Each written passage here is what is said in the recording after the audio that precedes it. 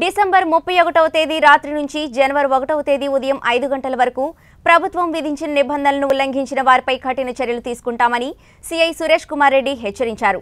కర్నూలు జిల్లా బనగానపల్లి నియోజకవర్గంలోని స్థానిక సర్కిల్ పోలీస్ కార్యాలయంలో సిఐ సురేష్ కుమార్ రెడ్డి విలేకరుల సమావేశం నిర్వహించారు.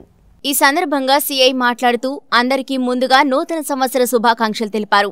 అలాగే బనగానపల్లె పట్టణంలో ముప్పై ఒకటవ తేదీ రాత్రి పది గంటల నుంచి ఒకటవ తేదీ తెల్లవారుజామున నాలుగు గంటల వరకు డ్రంక్ అండ్ డ్రైవ్ నిర్వహిస్తామని తెలిపారు.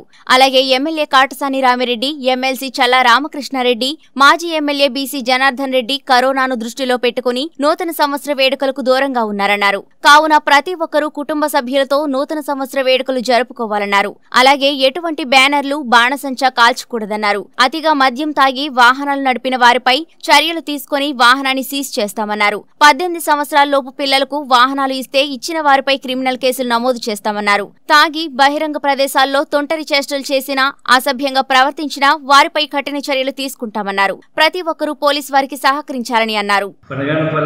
పోలీస్ స్టేషన్ పరిధిలో ఉండే నూతన సంవత్సర శుభాకాంక్షలు తెలియజేస్తున్నాను.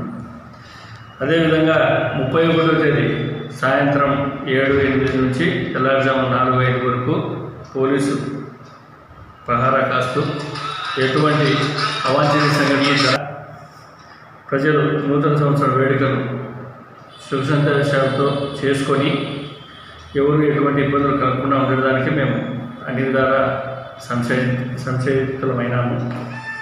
సో దీనికి ప్రజల నుంచి మాకు కావాల్సిన సహకారం ఏంటంటే మద్యం సేవించి పనులు నడపడం చే చేయొద్దు.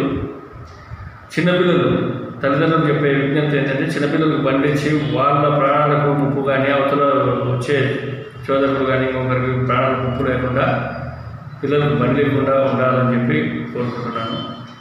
అట్లే పనగానపల్లె ఊపు పరిధిలో ఫ్లెక్సీలు కట్టడం కానీ క్రాకర్స్ పెంచడం కానీ తప్పులతోటి ఊరేగింపు కొట్టడం కానీ డీజేలు కానీ అన్నిటిపై నిషేధం ఉంది. గవర్నమెంట్ విధించిన ఆంక్షల మేరకు ఎవరిలో వాళ్ళు నూతన సంవత్సర వేడుకలు జరుపుకోవాలని చెప్పి జరుపుకొని పోలీసు వారికి సహకరించాలని చెప్పి ఈ సందర్భంగా తెలియజేస్తున్నాను.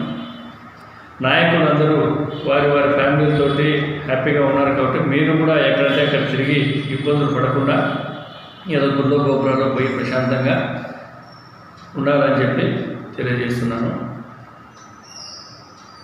ఎటువంటి కేసులకు మేము కట్టేదానికి ఆస్కారం ఇవ్వకుండా మా యొక్క సూచనలు పాటించి ఈ యొక్క పండుగను ప్రశాంతంగా చేసుకోవాలని చెప్పి ప్రజలందరికీ తెలియజేస్తున్నాను.